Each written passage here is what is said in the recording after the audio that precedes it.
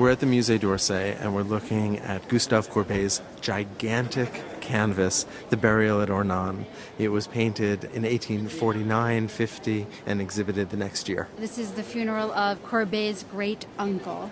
Courbet came from a relatively wealthy family in this relatively small town in France, but close to the Swiss border. Right, Ornans. And I think we just read it had about 3,000 people in it at that time. So it, it's a really small town. We're looking at a group of people where everyone knows each other. So these long standing ties. And we see the cliffs uh, that are very typical of this area of France. He's pushed all of the figures really close to us. It's almost like a classical frieze in the way in which the figures play across this shallow foreground.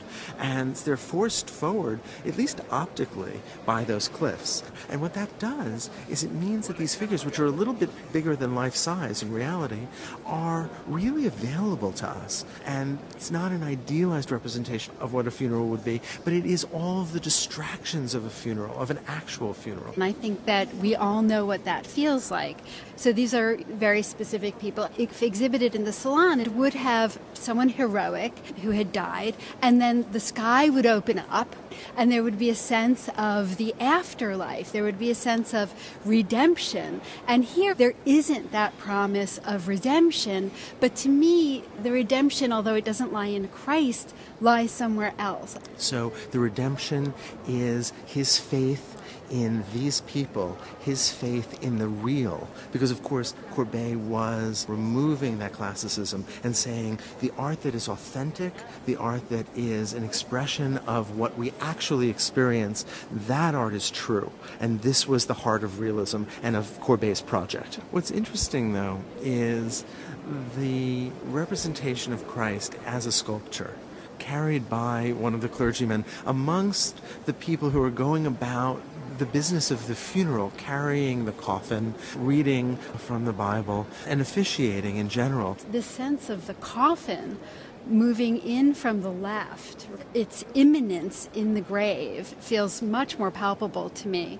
Separated only by the figure who's officiating there at, at the graveside and some small children, but there's a real sense of this community in that we have children, lots of children. And there's old people and middle aged people and a dog. But Courbet is not creating a kind of photographic realism at all. He's creating a kind of a synthetic realism. The dog chancing by becomes a kind of emblem for the sense The of the, distractedness. the distractedness, the chaos, the, the actuality of a moment. There's something very poignant to me about this community coming together for this funeral for a long-standing member of the community and the way that it almost functions as a modern memento mori. Death comes to all of us and all we have in a way is our moment, our time, our community. Courbet, I think, underscores that in a number of ways. First of all, there's real beauty to the way that he's rendering these figures, but there's also a discarded skull at the edge of the hole in the ground, which seems as if it had been dug up absent mindedly when they dug this fresh grave. And that skull, a reminder, of course, of the more traditional paintings of Golgotha, of Christ, The crucifixion. of, of the crucifixion. But here, this notion that there was somebody else who died who's now been forgotten. In the extreme right, there's the face of a child. And that paint is so black that that face floats in space. There is this quality of thinking about the nature of selfhood and of our own mortality that is very poignant. because we don't have that typical composition which would have focused us on a main heroic figure, and there is instead this kind of democracy of attention where everyone is getting their own portrait. Each person is in the private space of their own mind at this moment of a funeral, thinking about mortality, but at the same time thinking about The mundane. maybe dinner. I would argue that there are two things going on. I think you're absolutely right. There is that individual that is represented here that was so important to Courbet. But at the same time, there's a kind of type as well, and that is still here. There's the clergy, there's the town officials, there are the women who are going about their traditional role as weeping and mourning. Mourning. There are the children who may be distracted but are also representing beauty and, and youth and a kind of innocence. And so there are, there are still types at work, but, but he's transcending those types with that individual experience.